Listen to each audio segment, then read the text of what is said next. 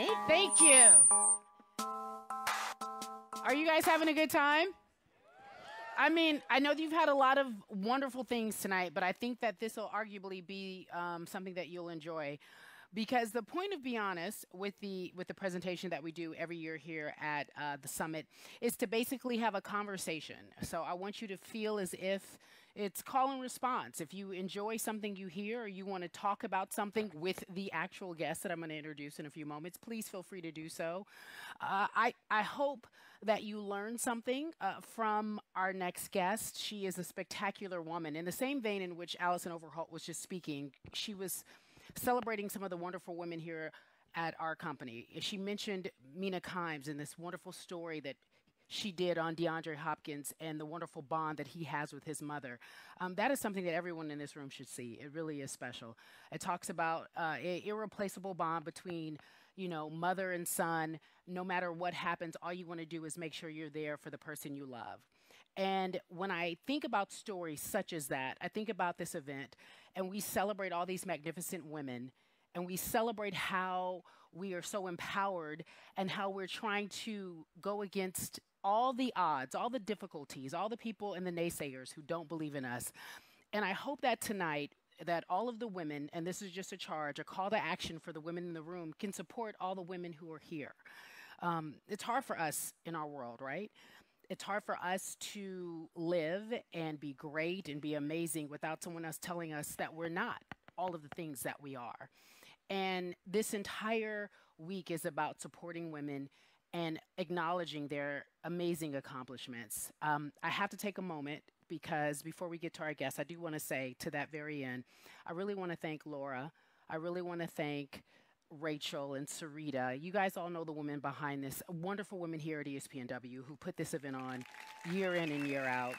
Allison, thank you when I've often felt no support, they've supported me, and I, am very grateful. Sarah, thank you so much. There are so many amazing women here, and you guys, when, when we say these names, we're not just saying it to say it. They really do do so much work behind the scenes for us that we don't know about. Um, so, back to Be Honest, as I digress. Be Honest podcast about being honest. The name came from me trying to figure out how honest I could be with myself, how honest I can get a guest to be, how honest I can make the person feel in terms of just revealing themselves and being vulnerable in any situation. And I think our next guest is actually amazing for that. Ella Mai.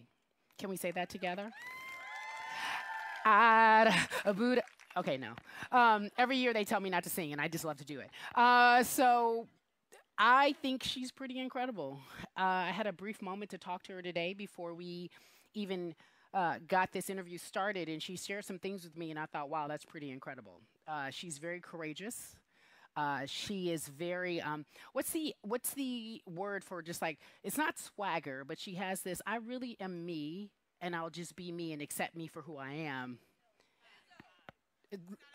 It's like a vibe. Yes, I don't want to call her someone else. Thank you. Who said vibe? Yeah, help auntie. Yeah, she's got a vibe, guys. That's what the kids say. It's a vibe. Um, and I need you to do me a favor. I need you to be extremely excited because it, it will be the most amazing conversation you'll hear tonight. I'm just going to say that. I'm not disregarding anyone else. But please give a, a round of applause for Ella Mai, y'all. I got excited to sing, but I didn't. Oh, I no, ready. you did good. Yeah, kind of, sort of. Please, have a seat. Can I just say that this is my first time using this type of mic? Uh-oh. And I'm really excited. Okay. I've always wanted to use this mic. Does it, what does it feel like to you? Like you should be singing Janet Jackson songs? yeah, I feel like, or- yeah, I feel like, I don't know. I've just always really wanted to use one of these mics, and I'm really excited. You've never so- done that like on a tour or when you were singing? Really? No, I always just use the handheld mic, yeah. W, we're doing things new. We're breaking we're breaking ground. um, okay, so by by way of backgr- background, um, I gotta tell everyone you're you're an amazing singer. There's so much Thank more you. to you, right? You clearly aren't from here. You don't have my accent. We have different accents. Yeah, we do. okay, so tell everyone where you're from and how you were discovered. Um, I'm from London uh, originally. I was born in London, um, and I actually got discovered by doing covers on Instagram um, about four years ago now. And it was when Instagram first released uh, a video, so you could only do 15 seconds. You couldn't do like a minute like you can do now. Um, and DJ Mustard saw one of my covers, and reached out to me, and then we got in the studio, and it was like it all happened really quickly. Um, and half a year later, I was signed to him, and we were A half a year later. Yeah, So you had a 15 second video Mhm. on Instagram when you can only do 15 seconds because now you can do a minute, a Yeah. full minute, the Mhm. kids say. And then from that 15 seconds, a half a year later, which is six months, I'm translating for the Americans, you were signed. yeah. it sounds weird. I know. I'm. I was one of those people before that was like, oh, no one gets signed off YouTube. Like those are like fairy tale stories, and there's someone behind it. And then it happened to me, and I was like, no, this actually can happen. So it's pretty crazy. That's amazing. Okay, so what was it? What cover was it? Um, well, the first one I put up was a Fetty Wap cover, but the one that Mustard saw, which was maybe like four covers in, was uh, Tupac "Keep Your Head Up." H- uh, h- what was it? Give it to me. Oh, How does it go? Wait, I don't keep your head up. You just sang the. You sang it. uh, yeah. Can you sing it for me just a little? That's it. That's all you did for 15 I'm gonna I'm gonna sing in a Yeah, second. I'm like, wait, that's it. ah, is anybody watching? No. I'm okay. gonna sing in a second. Okay, so you're like, wait, pause. We won't give it to you. Okay. so then after that, um, how fast? Because you were relatively young. How fast did your life change? Uh, almost instantly. In in in my opinion, instantly because everything changed for me really when I moved to LA, which was three years ago now. But to the public, to the public eye, uh, it would be like a year and a half ago Yeah. uh, when Boo'd Up Boo'd Up. went crazy. Is every is anyone in the audience boot up by w- by show of hands? Anybody got a boo? You, I, no one has a boo in the audience. no one? No one's married. No Oh, one's got a boo. I'm like, come on, y'all. Okay, because y'all not gonna be able to vibe if y'all don't have a boo. No, you can still vibe even if you don't have. Okay, so tell me why. Tell me how. How? How? If I don't have a boo, talk to me specifically. I mean, I mean, it's funny because uh, I used to get the question all the time when the, the song started uh, going off, like, "Oh, are you booed up?" And I had the whole world booed up, and I've been single, so it's like you can be, you can be booed up. You can just catch the vibe and be booed up with yourself. You're supposed to love yourself, so you Ah. can be booed up with yourself, Talk and it will be me. okay. If you have a significant other, then of course, but Yeah. even if you don't, you can still be booed up. I okay, I love that. Take you can be booed up with yourself, ladies. Self love. I'm I'm right here, and gents, the for the gents in the audience. um, I always uh, I, I think of people, and I don't think it's by accident. I think when you say almost instantaneously, I think it's it's it's years of work. It's years of prayer. It's years of just people believing in you, you believing in yourself. Ta take me through your, your your songwriting process because when you hit the charts, it was like, oh wow, who's Mhm. this? She's amazing, and then another and another Yeah. and it's consistent, not a one-hit wonder. Take me through your process of how you decide this is this is what I want to sing. What does your music represent? How does it say this is Ella Mai? Um, I think the most important thing to me is really just really putting my feelings like out there, like as if you were to write in your diary every night um, about your day and how you felt, or how something made you feel, or how somebody made you feel. Um, I think it's really just about putting all of your feelings on paper to then translate, obviously, onto a mic, and not being afraid to say something that you might think is too intense or is too much, because the, at the end of the day, those are the things that everyone relates to, because we all feel those same things. We just might not know how to express it the same way, or we might be too scared to express it. And I feel like expressing it is the one way to make yourself feel better for one. But um, that's I think that's what helps people relate to my music because I kind of just I'm quite I'm quite an intense person anyway. um, so yeah, I, that, I Yeah. I would I literally just I would go in the studio and however the the piano made me feel or however the the beat that I was listening to made me feel, I'd kind of just go off of that and not think about it too much. I feel like when you sit down and you think about okay, this needs to be A, this needs to be B, then it becomes very like almost like mathematics and then the creative part is kind of stripped in my opinion. Um, you say that you're intense. I, I don't think there's anything wrong with that. I think intensity gets a bad rap. I, I feel I in fact feel like it's okay because that that translates to so many different things in your life. Like perhaps that means you are a perfectionist, or perhaps you want things to be right, or perhaps you feel more. You might be an empath. Um, when you say that you write and you're, I'm a I I take away from what you said. You're vulnerable. Mm-hmm. You lay it all out there. Mm-hmm. How difficult is that in a world, especially in the social media world, that refuses to let authenticity rule the day? Meaning, they want you to be something that's not truly who you are. Right. The push to be a different type of entertainer. Mm-hmm. How hard was that for you to maintain and stay true to who you are? Um, luckily, it wasn't that hard for me. Mm-hmm. Um, I think it really all depends on the people that you have around you and the people that you have in your corner, obviously, um, that you deal with on a day to day basis, um, that you work with. Um, and it's really how much you let that stuff get to you. Um, and I feel like I'm quite a confident person, I'm quite secure in myself. And I mean, we, we're human, so of course you might see something online that you don't like and it might get to you for a little bit. But I think you have to kind of remember being being a public figure. I hate to say that, but being a public figure, someone's always going to have something to say. And even if you're not a public figure, someone's always going to have something to say.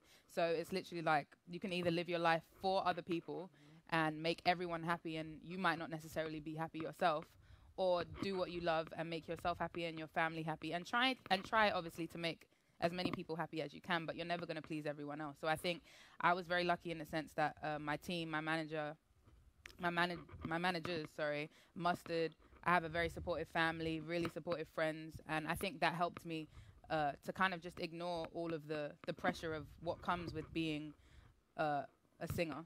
And yeah, I hope does that answer Yeah. your question? No, yeah, I Okay. did. I felt You're like, I was rambling. You keep sorry. a good crew around you. Yeah, I think I think that's grounded. one of the most important things in in all of this. Obviously, besides uh, being consistent and the music that you make or the sport that you play or whatever it is, I think people around you are one of the most important things because that's how you get through the day and how you learn how to deal with certain situations that you know I'm 24 and I got signed when I was 21 and being a 21 year old I thought I knew it all and I Mhm. absolutely knew nothing um, so you know having people around me to kind of navigate me through the stuff that I was experiencing that I'd never experienced before Yeah. um, yeah No, yeah.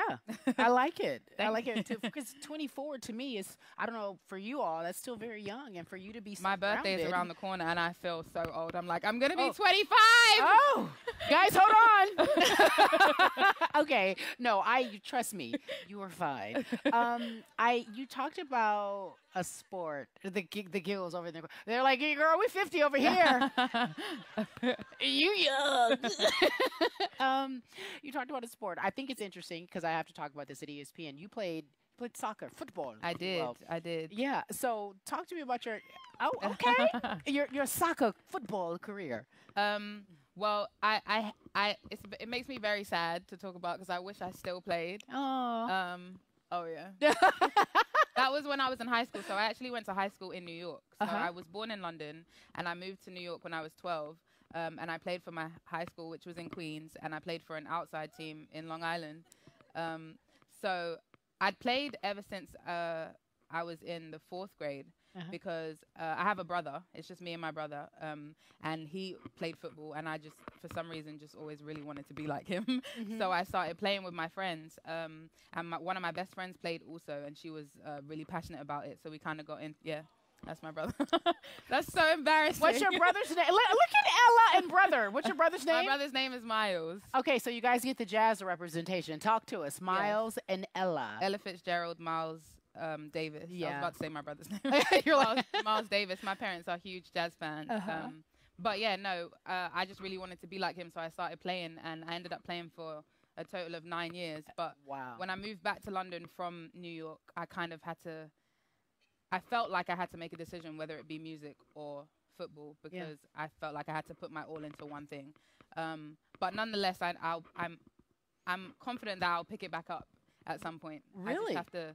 Yeah, I just have to slow down. I'm, I've been touring all year, but in the time that I get off, even if it's not pro- uh, maybe not professional, but just in a sense of having fun with my friends and yeah. Okay, so you so so we can catch you playing locally here at a park.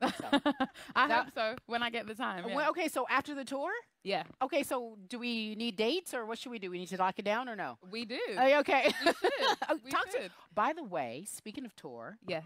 Yeah, uh, congratulations on all the wonderful things that are happening Thank in you. terms of your career, your album. We got a big tour coming up. Talk to me about Yes. that. Well, I've been on tour for the whole of the year. Yeah. I started touring January and I just got back from tour two days ago, three days ago. Um, but it's amazing. I mean, other than actually making music and being in the studio, performing is my second favorite thing to do. Um, and to be able to tour the world, you know, music has taken me to places I never even thought I would visit, let alone be able to go visit and perform. Yeah. Um, so it's been amazing. I, di- I started in Europe in January. I then did uh, North America, and then I just I just came back from Europe opening for Ariana Grande. So And how oh, that's huge. So how long do you have a break before you go back out? You, you're chilling for a minute, or um, I go to Asia next week. okay? So back back on tour in Asia. Yeah. Okay, good. We're just working. yeah. Can I borrow five dollars? Because that's when you make the money, right? Tour, yeah, touring is where is where you make Where the dollars are made. yeah, especially now because streaming streaming has uh, made it more difficult to make money from actual music sales. Touring is where you make the money now. So you're at a point in your career, and I think everyone loves this. No matter what you do, I don't care what you do. Whether you're a singer, you're a journalist, whether you you know you work as a, a manager at a wonderful company, or you're whatever you're doing, you're at a point in your career where people are starting to acknowledge um, your gift, your craft. What was um, arguably one of the best moments in in your career where someone came up to you that you admired and said, "You do do your thing. I like it," or There's "You're been really amazing." There's been a couple, um, but one that sticks out probably the most is Stevie Wonder. Yeah, yeah. Uh, he actually called me. I remember I was doing a a photo shoot, Mhm. and my manager and my manager will like never interrupt a photo shoot. So he comes over and he's like, "There's someone on the phone for you," and I was just like, "This is weird. Is like is an emergency?" Because I was thinking you you would never never stop me doing a photo shoot. Anyway, he's like, just, just take the phone. So I took the phone. I'm like, hello, and then I just hear Stevie Wonder singing "Boo'd Up," and I was I I, no. I thought it was too good to be true because obviously I recognized his voice straight away, but I was like, uh, wait, ho- I thought I was dreaming. I was like, hold on, let me pinch myself. and then I, and then I looked at my manager and he was like, yeah, Stevie Wonder's on the phone, and I was like, what is going on? so he just hands you the phone. You're like, "Hello." He starts singing your song. Yeah. Goodbye. Yeah, crazy, crazy. And then yeah, I, I met him uh, not too long after that. Um, and I actually performed that. He has like a Christmas uh, annual Christmas thing, so I performed there. But uh, he was just he was so sweet to me, and he said he you know he loves the song, and he actually said that that's the first song in a while that has made him feel like he wants to be in love again, which was crazy to me. So uh, yeah, I told you you had to be booed up. For song.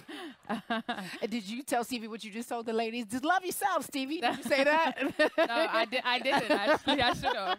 I should have. But um, no, yeah, that was that was definitely one of the best moments. Oh my gosh, that's amazing. Yeah. So you call your mom. you- What you tell your mom? You're like, Mom, you'll never believe this. Uh, I can't even remember the the. No, actually, I think I called my brother first. Actually, Okay. after, and uh, he was he didn't believe me at first. he was like, no, he didn't. And then when I told my mum, my mum was like, wow. But then my mum ended up actually meeting him because she came to the Grammys with me, and he was at a party that we went to, uh, Grammy week, and she met him, and she was my mum was just like so in awe. She was like, couldn't believe that she met Stevie Wonder. So I like I and I'm a big believer in dreams. Like, do dreams not come true? I'm listening Oh. to you talk about this. Did you uh, could you have ever imagined as a kid singing in the mirror, in the shower, to your parents, whomever, that that this would be the life that you would have? Like Stevie Wonder would call you and sing your song. Had you could you even fathom that? it's crazy because I, I always dreamt of it, but when it then becomes reality, it still feels like a dream. It still it doesn't feel like it's reality. It's like okay, I think I'm still dreaming, and then you go e- the days go by and you're like okay, yeah, I'm still dreaming, and then you realize that dreams really do come true, Amen. and they're no longer. I mean, they're still dreams because there's still people I would love to meet and love to work with, um, and sometimes I have to just really like sit back and be like, wow, this is actually happening. Um, but yeah, dreams. Well, you, I mean, you're very level headed for someone to be. I don't know you think you're getting old at 25, dusty 25, but like you are truly level headed and you, you. seem to have a good grasp on where you are in life Thank and you. where you see that vision for yourself. And you're not overwhelmed by so much that has happened to you because some people, fame comes quickly and they don't understand it. It gets, o- it definitely gets overwhelming at times. But again, like I was saying to you earlier, the people I have around me, I feel like are Keeping what help. Yeah, they keep, and my mo- and my my family, especially my mom, my brother. My brother will be quick to tell me, "Listen, relax." He's definitely that person. So, um, yeah, yeah. I like Miles. I don't know. I like him. Um, you talked about who you you other have other people you want to work with. Who might that be? Oh, there's so many. Um, I would love to work with Alicia Keys. Mm-hmm. Yeah. I can see Um, that. I used to want to be Alicia Keys so bad. I mean, you can probably tell. uh, I used to want to be Alicia Keys so badly when I was little, and I still want to be her. And then that was another moment for me. I think that was so memorable because she was hosting the Grammys this year, um, and she actually sung "Boo'd Up" on the Grammys, and I cried in my seat because I was just like, she was one of the people that I really look up to. Um, and I actually got to meet her, and she was just like, "You're just doing so well." And it was just, it's again one of those things where it's just like, this is actually really happening. So Alicia Keys is definitely. So uh, you look back and you tell your 21 year old self at 25. 24. I'm not there yet. 20. Oh, sorry, my bad. Next month. Yo, my bad. Woo. you look back and you tell your at 24. You Yeah. tell your 21 year old self. What do you tell yourself? What's the advice you give yourself? And to me, that's just like an instant. It's like no time. What do you tell yourself now at 21? um, don't doubt yourself. I think the the expectations and the what's the right word I'm looking for? The dreams that I had are not unrealistic. And if as long as you believe in yourself, it sounds so cliche, I know. Um, but as long as you believe in yourself, you don't really let anyone tell you no. You don't let people trying to m- try and mold you into what they see you as. Um, stick to what you believe in and what you see for yourself. And who knows how long it will take, but I believe that if you're persistent, you'll get there. Amen. That, by the way, by the way, you can tell yourself that when you're 35 and 45. I will. um, what do you do when you are not um, creating music and, and, and, and in the studio and working? What do you do for fun? What is what is Ella Mai's downtime? Um, really just relaxing, I think. I think uh, my dog, my puppy, is probably uh, my best friend. What's his name? Sounds really sad. Thierry. Thierry. Yes. Okay, you got to give him the backstory on Thierry. So Thierry is somewhere around here. I don't know where he is. somewhere. Uh, he's a French bulldog, Uh-huh. and my favorite football player is Thierry Henry. Um, and my favorite football team is Arsenal. So that that that gives you some uh, insight to why he's called Thierry. And I want another French bulldog, and I'm gonna call him Henri Henri. when I get there. So. Yeah, yeah, I like it. But not yet, because he's a lot to deal with already. he's, but I enjoy him. yeah, he was fun. a good time, right? He's he was fun. um, okay, so I, I really want to to wrap this all up by by just giving everyone just a an understanding of who you are, and I think they I think they have that. Mhm. Um, if you have something that you have a project per se, something that you're working on in terms of moving forward, what should people be looking out for? Oh, that's a good question. Um, well, my debut album just turned one this Mhm. month. Um, Congratulations! thank you. um, It's a big deal, guys. yeah, uh, but since I've been touring all year, I actually haven't even been able to be in the studio, but I'm about to when I get back from Asia start on my second project. So I'm not sure. I don't obviously have a timeline. Yeah, But yeah. you can go back and listen to the debut album. We Now- can use that. Yeah, go back to now. Did you record Stevie when he was singing? Because I- can play was- that. I was caught so off guard. I didn't like, even "What?" have time to like. I was just like, huh? I didn't know what was going on. I You were didn't. like, how? You're like, who is this? but I got to sing with him. I got to sing with him at uh, last Christmas. So there's a recording of that somewhere. And some Okay, so we got that coming soon. Okay, so I think everyone in the audience, are you guys ready to to hear Ella Mai? You're in for a treat. I, I'll try. I'll turn my. mic. Can you guys turn my mic off because I don't want to sing with her. Um, so um, I guess you're gonna exit stage left, and then I'm gonna take a moment, and we're going to let everyone get just a taste, and then you're gonna come back out. Okay. All right, give it up for her, Thank you, guys. guys. Ella Mai.